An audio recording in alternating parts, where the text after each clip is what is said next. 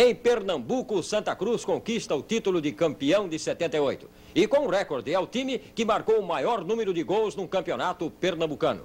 112. Hoje, na final, contra o Náutico, mais uma chuva de gols, 4 a 0. Primeiro, Betinho lança o ponta esquerda Joãozinho na meia-lua. O chute não foi forte, mas entrou, 1 a 0.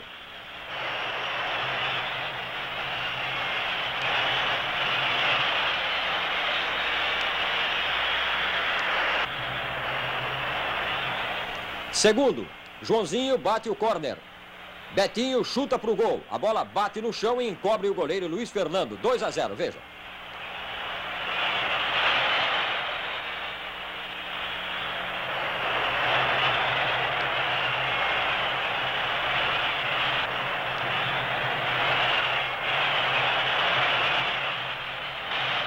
Entrada rápida de Betinho pelo meio da defesa do Náutico. Ele chutou cara a cara com o goleiro.